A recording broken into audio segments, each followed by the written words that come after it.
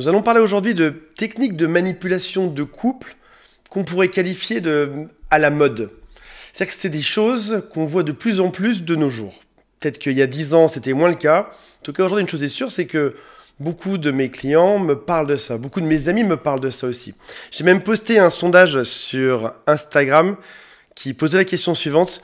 Quelle est la technique de couple la plus fine ou la plus maligne que vous avez vue dernièrement. Et on verra vers la fin de cette vidéo les réponses que vous m'avez fournies qui m'ont fait souvent rire, peut-être pas forcément pour la bonne chose, mais rire parce que quand ça sent le vécu, quand c'est quelque chose qu'on a soi-même aussi vécu, quand c'est des choses qu'on a vues, il y a quelque chose de, de à la fois malin et à la fois un peu triste là-dedans.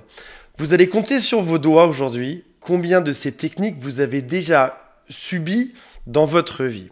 Avant de démarrer, si vous le souhaitez, abonnez-vous à cette chaîne. Il y a aussi un quiz qui s'appelle Est-ce que cette personne est perverse, narcissique ou pas? Et un lien pour me contacter, c'est juste sous la vidéo.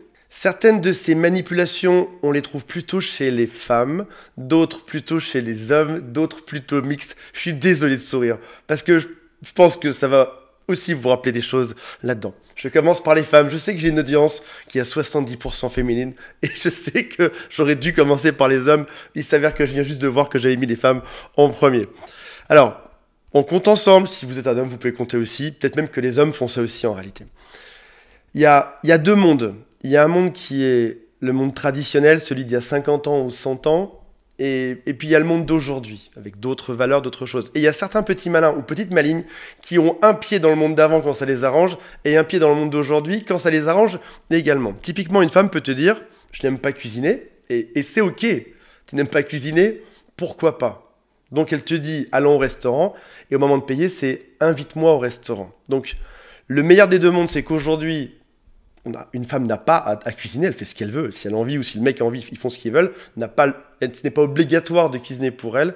Mais en même temps, au moment où on arrive dans le restaurant, traditionnellement, c'est à l'homme de payer. Et on va retrouver d'autres phrases où on va voir que dans l'autre sens, c'est à l'homme de faire ceci, c'est à la femme de faire cela. Ils ont utilisé l'ancien monde pour te rappeler que tu as ton rôle en tant qu'homme ou tu as ton rôle en tant que femme et tu dois le faire quand ça les arrange. Autre stratégie, là j'ai mis ça dans mixte parce qu'on trouve chez hommes et chez femmes, c'est emménage chez moi, paye, paye moins un loyer, paye moins un loyer, entretiens cette maison, répare-la. Alors, encore une fois, participer à l'entretien d'une maison, participer à une partie des remboursements, top. Jusqu'à un moment où, sans t'en rendre compte, tu es en train d'entretenir le bien de quelqu'un d'autre. Mettez-moi en commentaire si vous l'avez vu ça. Je sais que les, disputes euh, financières sont très souvent dans les couples. Donc mettez-moi si vous avez eu ce genre de choses, où c'est toi qui dois tout le temps payer en permanence quelque chose, et l'autre te dit, mais tu as déjà bien de la chance que tu sois chez moi. Troisième qui est mixte, mais j'ai hâte, j'ai tellement hâte de lire vos commentaires. Troisième qui est mixte. C'est mon téléphone, c'est mon intimité, tu n'as pas le droit de regarder dedans. Encore une fois, que je comprends, que vous comprenez, c'est vrai qu'on a tous le droit, notre intimité. Sauf que quand ce téléphone est comme greffé à la main de l'autre, toujours dans sa poche, quand il va aux toilettes, il le prend, quand il va se doucher, il le prend, quand il se lève pour chercher le sel, il le prend, et que tu as comme un doute sur son comportement, à un moment donné, vous êtes en couple, son intimité, c'est quelque part votre intimité. Il n'y a pas plus intime qu'un couple. On dort ensemble, on a des rapports intimes ensemble. Pourquoi est-ce que ce téléphone est comme un coffre-fort que tu n'as pas le droit de regarder sous aucun prétexte? Je sais ce que vous allez me dire en commentaire. Moi, Antoine, je n'ai jamais ressenti le besoin de, etc. Sauf que quand il y a un doute, quand on a cette intuition au fond de nous qu'il y a un problème, il faut très souvent écouter cette intuition.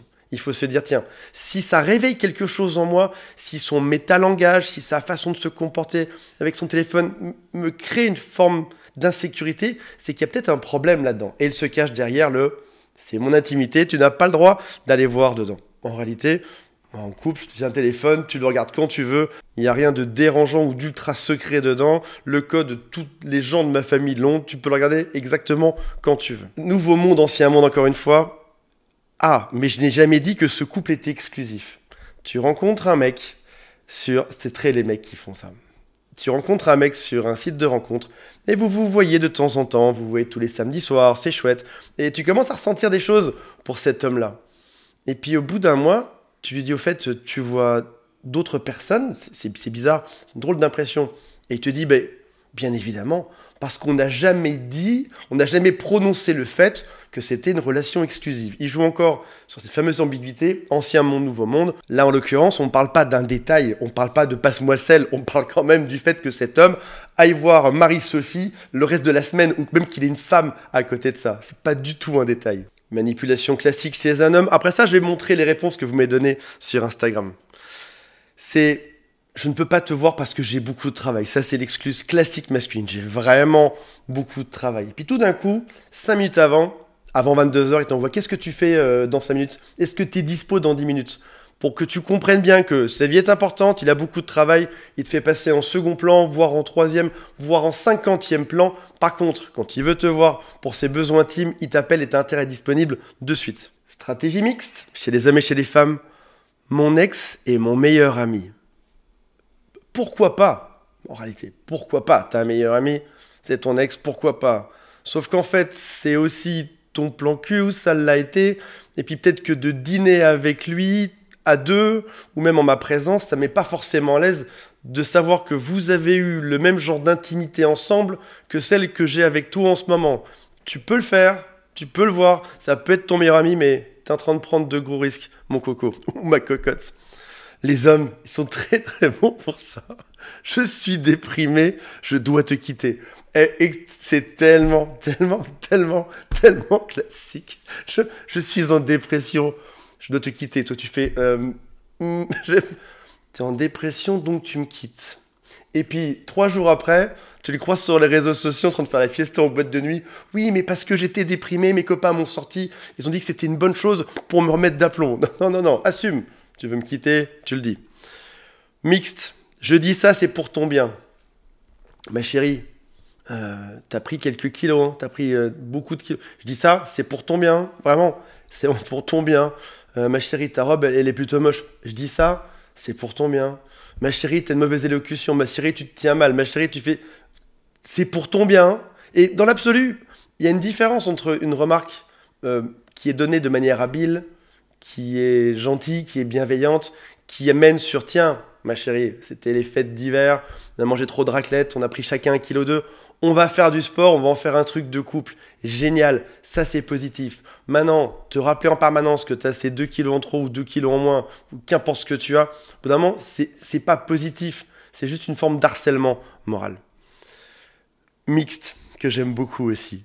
Je t'ai trompé car, attention, attention, je t'ai trompé mais c'est de la faute à qui? C'est un peu de ta faute à toi là-dedans. Je t'ai trompé car tu travailles trop, car tu ne me regardes pas, car tu me considères comme ci et comme ça. Oh, stop. Euh, d'où est-ce que c'est de ta faute? Si c'est toi qui me trompes, tu pouvais aussi simplement dire les problèmes, éventuellement se séparer, tu faisais ça de manière propre. C'était beaucoup mieux en réalité. Encore plus sympa, encore plus drôle, surtout. Non, je ne t'ai jamais trompé avec Cynthia ou alors je ne t'ai jamais trompé avec une femme en soirée, ou je ne t'ai jamais trompé euh, sur les sites de rencontres. La phrase est vraie. Sauf, il ne t'a pas trompé avec une fille sur les sites de rencontres, t'as trompé avec ta voisine, qui n'était pas sur un site de rencontre. Et quand tu le découvres, tu fais, ben, je t'avais bien dit que je ne t'avais pas trompé avec une femme astérisque sur un site de rencontre ou dans ce bar ou avec ma meilleure amie. Il y a autre chose aussi, il te trompe et il te fait t'es vraiment trop jalouse. Toi, au fond de toi, t'as cette espèce d'instinct, tu vois. J'en rigole, c'est même pas drôle. T'as cet instinct que ce mec est en de faire quelque chose de grave dans ta tête, dans ton cœur, tu ressens quelque chose. Et il te dit, t'es vraiment trop jalouse. Et au moment où tu découvres la vérité, tu fais, mais j'étais pas trop jalouse, j'étais juste tellement naïve. On va voir ensemble quelles sont les phrases que vous m'avez envoyées et, je les trouve.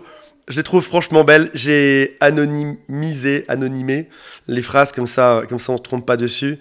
Alors, l'inversion accusatoire je l'aime bien. Je l'aime bien celle-là parce que euh, tu lui reproches, tu, lui reproches quelque chose. Tu lui dis ah, arrête de m'engueuler. Il va te dire oui, mais c'est par ton comportement. Je suis violent, mais à cause de toi. Tu vois le truc ou pas? Euh, Non, tu es juste violent tout court en réalité. Puis si tu cherches bien de l'œuf ou de la poule, tu pourrais toujours trouver à un moment donné quelque chose qu'on a co-créé ensemble, plutôt que de s'excuser de dire oui désolé j'ai été violent ou j'ai été verbalement violent, j'ai pas dit la bonne phrase ou je me suis mal comporté, ne reporte pas sur l'autre, excuse-toi juste de ça.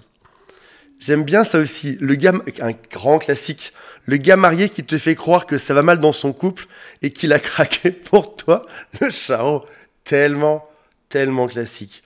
Alors, il y a ça va mal dans mon couple ou tu as les variantes, c'est on est sur le point de divorcer, sauf qu'en fait, non. Ou alors, euh, on vit, on vit euh, dans le même endroit, dans le même endroit, mais dans deux chambres séparées, sauf qu'en fait, ils sont au même endroit, mais ils sont toujours ensemble en réalité. Mettez-moi des commentaires en dessous pour me dire ce que vous avez eu dans votre couple. Après ça, suivant.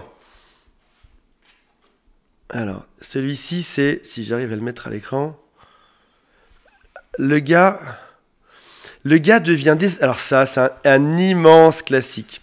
Alors ça, c'est aussi un grand classique. Plutôt que de porter son, son, truc dans les mains et de te dire, voilà, ma chérie, ça marche pas, on va se séparer, on va tenter de faire les choses bien classe. Non, non, il fait exprès de te rendre dingue pour que ce soit toi qui parte à la fin. Magique, magique aussi. Après ça, un autre, on a eu. Ah, ça, ça, ça c'est beau, ça aussi, ne bougez pas. Mon téléphone n'a plus de batterie, peux-tu me prêter le tien? Et là, pendant qu'il prend ton téléphone, il vient observer toute ta vie dessus. Ça, ça, ça, tu peux pas, tu peux pas l'avoir inventé ça. Elle me faisait mal et me disait, je me demande pourquoi je suis comme ça avec toi. Dans l'autre sens aussi, hein. Et eh ouais, je te fais souffrir. J'arrive pas à trouver la. J'arrive pas à t'expliquer pourquoi. Par contre, aller voir un psychologue, bosser dessus, ça non. L'ex en dépression pour quitter, on l'a vu tout à l'heure, c'est très très beau.